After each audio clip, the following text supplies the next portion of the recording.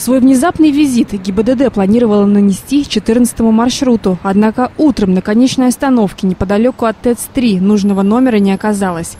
Как всегда, сработало сарафанное радио. Спрятались не случайно, говорят в полиции. Слишком много имеют нареканий от пассажиров. В гости инспекторы зашли к другим, на останавливающиеся здесь же 8 и 12 маршруты. Встречали незваных гостей в погонах, четко следуя восточным традициям, с расстеленными коврами. Оказалось, явно переусердствовали. Вот это что у вас здесь в салоне находится? Подушки, канистры, они здесь должны у вас находиться, стаканы. Это просто под мою... Ну, стаканы для чего у вас здесь? Это термос. Вы кого вы перевозите? Вы перевозите пассажира. У вас лишнего, кроме огнетушителей и аптечек, в автобусе ничего не должно быть. После замечаний по интерьеру инспекторы перешли к серьезному проверке документов. Вовремя найти нужную бумагу водителям было непросто. На пути встал языковой барьер. Диагностическая карта ваша. Какой? Диагностическая карта ваша где? Какой карта? Диагностическая карта.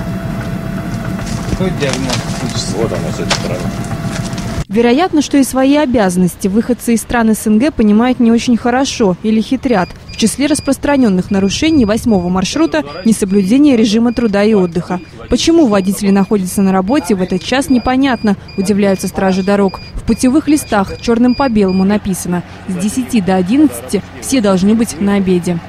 То есть отметки, которые ставит индивидуальный предприниматель в путевом листе, и время, которое указано и предоставлено для обеденного перерыва, они не выполняются. Это делается для того, чтобы э, скрыть явное нарушение режима труда и отдыха водителя. Неисправные огнетушители, треснутые стекла и зеркала – вот еще атрибуты большинства тверских маршруток. Вот сейчас был остановлен автобус, который принадлежит индивидуальному предпринимателю Иванову Дмитрию Вячеславовичу. Вот сами видите, что вместо заводского стекла, которое предусмотрено заводом-изготовителем, установлено оргстекло. Мало того, что оно не заводского исполнения, оно еще не закреплено. Саморезы вот отвалились все. Просто вчера пьяный был один мужик. Он сломался. А этот водитель вдобавок и штрафы за нарушение ПДД оплачивать не спешит. Пренебрегает правилами часто, и это даже не скрывает. Как людей же возите? А я знаю, людей возят.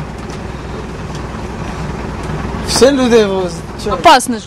А я знаю, опасно. Что делать? Все нарушения делают. На всех нарушителей полицейские составляют протоколы. Платить штрафы придется и водителям, и их хозяевам.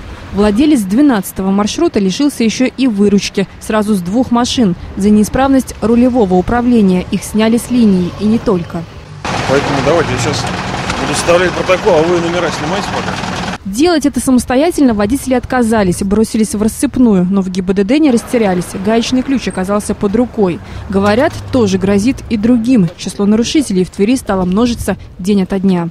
Каждую неделю это где-то от 9 до 15 дорожно-транспортных происшествий происходит в областном центре по вине водителя маршрутных транспортных средств. Ирина Ковень, Андрей Шибаев, РЕН-ТВ «Пилот».